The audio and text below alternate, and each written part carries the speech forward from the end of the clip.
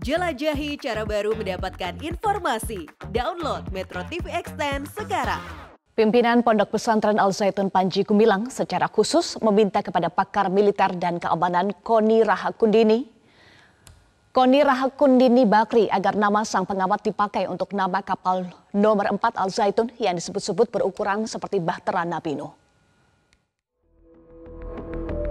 Pimpinan Pondok Pesantren Al Zaitun, Panji Gumilang, mengundang sederet tokoh di Ponpes Al Zaitun dalam peringatan Tahun Baru Hijriah pada Rabu 19 Juli 2023. Salah satunya adalah pakar militer dan pertahanan Koni Rahakundini Bakri.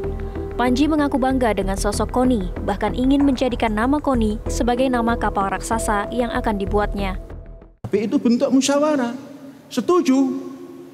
Kita serahkan kepada yang disetujui. Bu Koni, pripun? Kumaha ibu atau tos disetujui mah nggak baik gitu. Cuma belum begitu omongannya tapi dari gelagat beliau sudah menyetujui. Maka kita katakan kapal keempat walaupun ukurannya andainya nanti melebihi ukuran kapal Nabi Nuh atau sedikit kurang dari kapal Nabi Nuh itu akan kita sematkan kepada beliau Ratu Koni Rahakundini Bakri.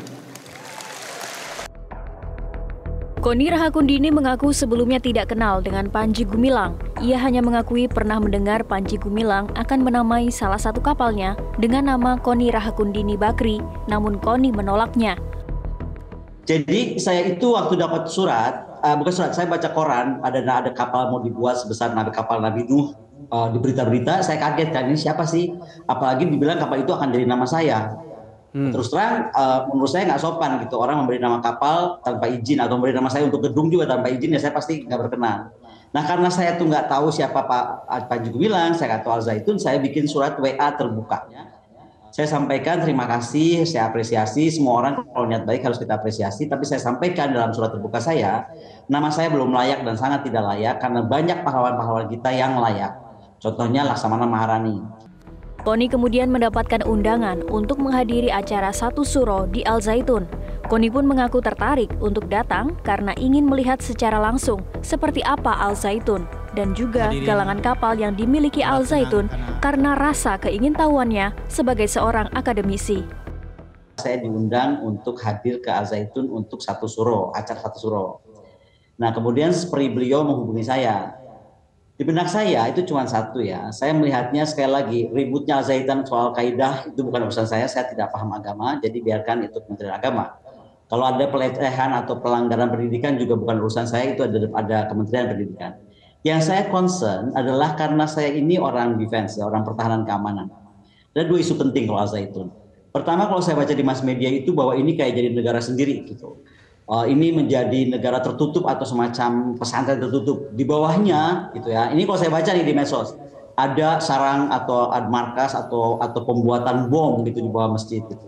Nah, dari sebagai orang defense itu buat saya menarik untuk saya datang sebenarnya. Nah, makanya kemudian saya uh, kabarkan saya mau lihat dulu galangan kapalnya. Jadi buat saya prinsipnya saya mau lihat dulu galangannya kalau betul gitu ya itu nyata di depan mata saya maka saya mau datang ke satu suronya. Bangunan galangan kapal Al Zaitun sempat disegel sejak tahun 2022 dan dihentikan sementara aktivitasnya karena Pemkap Indramayu menilai perizinannya bermasalah. Belakangan, galangan kapal ini nampak sudah tidak disegel.